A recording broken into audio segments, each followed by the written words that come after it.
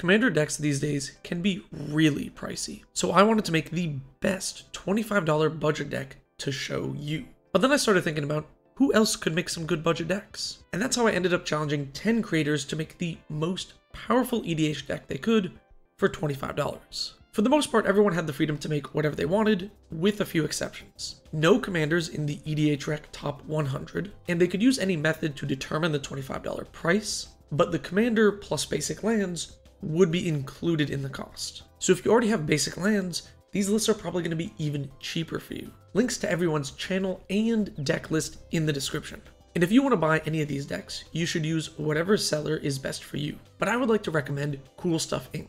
If you use my code, you can get 5% off your order, making these budget decks even cheaper. Plus, it supports the channel. Thank you very much to Cool Stuff Inc. for sponsoring the video. While I was fishing for people to collab for this video, I snagged a couple of goldfish. I'll start with Phil, aka Brewer's Kitchen who sent in a very bold list, spending $8 of his $25 budget on the commander. Etali Primal Conqueror. Red, red 5 for a 7-7 Elder Dinosaur with Trample. When Etali enters, each player exiles cards from the top of their library until they exile a non-land card. You may cast any number of spells from among the non-land cards without paying their mana cost. You can also pay 9 in a Phyrexian green mana to transform Etali at sorcery speed. The flip side is an 11-11 trample indestructible Phyrexian Elder Dinosaur that has essentially infect without the keyword infect. This deck is relatively simple. Big green-red dudes, the commander being the most obvious one, but we have the other Etali, Ezuri's Predation, Dragonlair Spider, all of these are powerful cards. We also have plenty of ways to fling our commander for big damage or sacrifice it for value to recast Etali and get that amazing enter the battlefield effect again. Stealing your opponent's spells is great in a budget deck, since you can make use of their non-budget threats. If you want to play some big Gruul stuff on a budget, this list is excellent. Next is Budget Commander, aka Tomer. He made a Sergeant John Benton deck. Johnny over here is a green-white 1 2-4 human soldier with trample and haste. Whenever Sergeant John Benton deals combat damage to a player, you and that player each draw that many cards. This deck is also relatively simple. Turn 1 ramp. Turn 2 John, hit an opponent for 2, draw 2 cards. And then turn 3, you are go, go, go. This deck is full of ways to buff up your commander and ways to protect him. You buff up the commander, deal damage to a player, and when they try to kill your Voltron threat, just use the protection spells to save him. And then once you've hit that player for their insolence, you'll get to draw even more cards to buff up your commander even more and protect your commander over and over again. I really like the addition of Summer Bloom here, which will easily be essentially a ritual in this deck. Also, I think this is a deck you can pick up and upgrade with some more powerful auras and protection spells to make this commander even faster and more dangerous. This commander is a Voltron deck with a slight politics spin. You never know who might be willing to take 6 damage just to draw some sweet, sweet cards. Onto the deck from Geek and Seek, who, if you don't know, is one of the editors for Goldfish, and he has his own channel. Morgan brought a Rebecca Silas Renn deck. Rebbec, Architect of Ascension, is 3 and a white for a 3-4 human artificer. Artifacts you control have protection from each converted mana cost among artifacts you control. And this is partnered with Silas Renn. Black Blue 1 for 2-2 human with Death Touch. When Silas Renn deals damage to a player, choose target artifact card in your graveyard. You may cast the card this turn. This deck has Sword of the Meek plus Thopter Foundry, which is one of my favorite value engines of all time, and in tandem with Urza Lord High Artificer, who I'm surprised he was able to fit within the budget. You can just go infinite. This deck has a lot of creature cantrips, and the artifact ones can be used to easily chump block and then recur them with Silas to churn through the deck and dig for that combo. I think this commander pair is really powerful. I think a lot of people don't realize how strong giving Silas Renn protection from things can be, letting him chip in for damage and get tons of value from recurring artifacts. This deck is a great starting point for any aspiring artificer. The next list is from a Rebell, who made a Kediss Malcolm deck. Kediss is a cute little lizard for red and 1. He's a 1-1 with partner and whenever a commander you control deals combat damage to an opponent, it deals that much damage to each other opponent. Malcolm Keen-Eyed Navigator is 2 and a blue for a 2-2 Siren Pirate. With flying and Whenever one or more pirates you control deals damage to your opponents, create a treasure token for each opponent dealt damage. Meaning this deck lets you go turn 2 Kediss into turn 3 Malcolm, into turn 4 hit someone who doesn't have a flyer, and make 3 treasures. Since Kediss will have Malcolm's damage also hit your other two opponents. This ramps you into 7 mana on turn 4. And what do we do with all these treasures? Play massive threats super early. Bane of Bala Ged or Etali can be really scary early game. Beyond that, we have a pirate sub-theme to continually get treasures. Also, there is a backup combo. We got Niv Mizzet plus Tandem Lookout or Curiosity, and Curiosity plus Tandem Lookout are also just phenomenal with Malcolm. This deck has an excellent curve and straightforward game plan, which makes it a very effective budget deck. It kind of does a little bit of everything. The next deck is from Commander Mechanic. This is a Gev Aristocrats combo deck. Gev is black-red for a 3-2 with Ward Pay 2 life. Other creatures you control enter with an additional plus one plus one counter on them for each opponent who lost life this turn. Whenever you cast a lizard spell, Gev deals one damage to target opponent. That last line of text is basically not relevant for this deck. Instead, using that first ability, if you have a creature with Persist, giving them the ability to enter with a plus one plus one counter cancels out the minus one minus one counter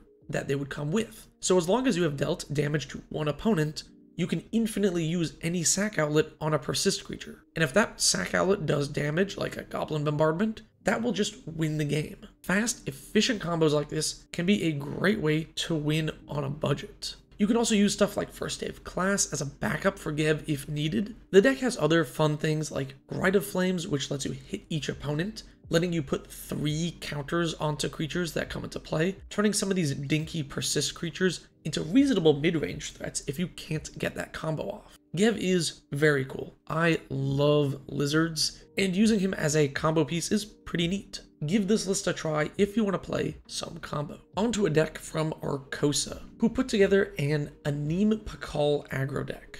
Anim Pakal Thousandth Moon is red white 1 for a 1-2 human soldier. Whenever you attack with one or more non-gnome creatures, put a plus one plus one counter on Anim. Then create X11 colorless artifact gnome creature tokens that are tapped and attacking, where X is the number of 1-1 counters on Anim. So this commander goes tall and wide at the same time. And if you've never seen anyone play this deck, the commander can get out of hand really fast, letting you crash in for huge Voltron damage and go wide to get past blockers. I love the addition of Lochiel Clockwork Scholar as a card draw engine here. Plus, the new Arabella Abandoned Doll is a really sweet way to make use of those 1-1 gnomes. Also, Requisition Raid, really underrated spree card that I think people are overlooking. Aggro can be a really tricky archetype in EDH, but sometimes a more expensive, greedier deck can get caught off guard by how fast your aggro deck can be. If you want Boros Punch Face, check this list out. Also check out his channel, really underrated video essays there. We're about halfway into these now, so if you'll excuse me, I need to fulfill a contractual obligation. Hmm, I think I want this card, ah, but I can't remember if I pulled one from a pack last week. Ugh, I wish I could just pop back to my place and see if I have one. Your wish is my command. Boop.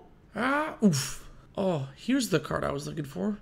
My wish has been granted, but in a cruel twist of fate, I have fallen and injured my leg and cannot return to the game store. Plus, I wasted one of my wishes. Did you know 1 in 10 game store employees are actually genies? Don't look that up. And a simple wish like this could easily cause you a lot of trouble. This is why I use Card Castle, the easy way to track your collection online and know what you do and don't have anywhere you are. Check the link in the description to sign up for free and avoid getting caught off guard by genies at your local game store. Let's talk about this Edric list from Dana of the EDHRECast. Edric, Spymaster of Trest, is blue-green 1 for a 2-2 elf rogue. Whenever a creature deals combat damage to one of your opponents, its controller may draw a card. If you've never played against Edric, it is a tremendously powerful card and was a CDH deck for a while. This might seem like a group hug deck, but it is actually jam-packed with one mana flying unblockable dudes, letting you get the most value out of this commander. This lets you draw a ton of cards, since if you're hit with five flyers, you'll draw five cards. And once you have all of those cards, you can chain extra turn spells to keep going through your deck. And then finally, using anthems like Scale Up, for example, you can turn those 1 1 flyers or unblockable dudes into real threats. Honestly, I'm surprised how many extra turn effects he was able to fit into this budget deck. In terms of raw power, I think this might be the strongest list of the bunch. It's very consistent, has great protection, and not to mention some of the best potential in terms of upgrades. A few more extra turn spells and some better anthems could easily turn this deck into the most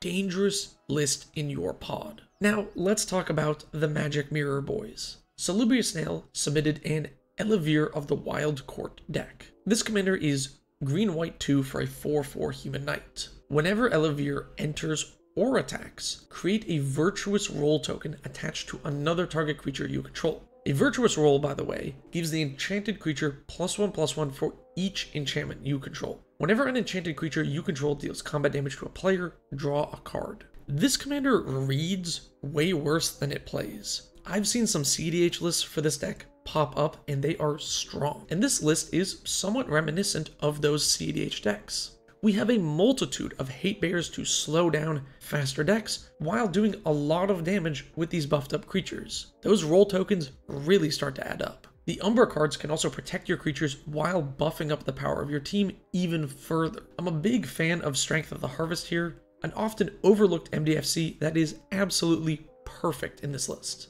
I think people will be surprised how quickly this budget deck can overpower the table and how much damage it can actually dish out. Elk submitted a commander I've never actually seen in a table in front of me. Katilda Dawnhart Prime.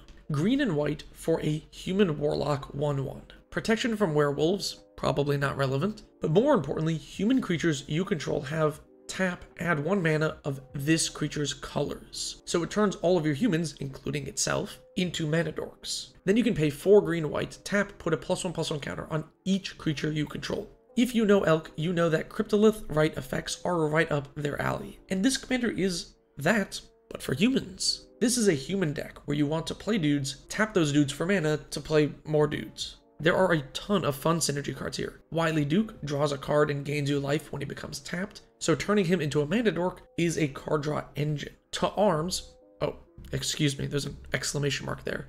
To Arms can easily be a ritual plus cantrip in this deck. One of the best things about Katilda is that last ability lets you pump your team every turn, making these small humans into real threats even if you don't draw into any of your other buffing spells. This deck has a lot of cute synergy cards and a surprising amount of resilience. If you were looking for a typal deck but were scared off by some of the expensive staples, I think this is an excellent starting point. Last is me, and I cheated by making two decks for this video. The first one I made was with the help of you, or some of you. This deck was made during a live stream, and I wanted to thank everyone who tuned in and suggested cards for the deck. If you want to catch live streams, you can hit the bell here on YouTube or follow me on Twitch. I'll put a link in the description. This deck is a Jalira Master Polymorphist deck. 3 in a blue for a 2-2 human wizard. Pay blue and 1, tap, sacrifice another creature. Reveal cards from the top of your library until you reveal a non-legendary creature card. Put that card onto the battlefield,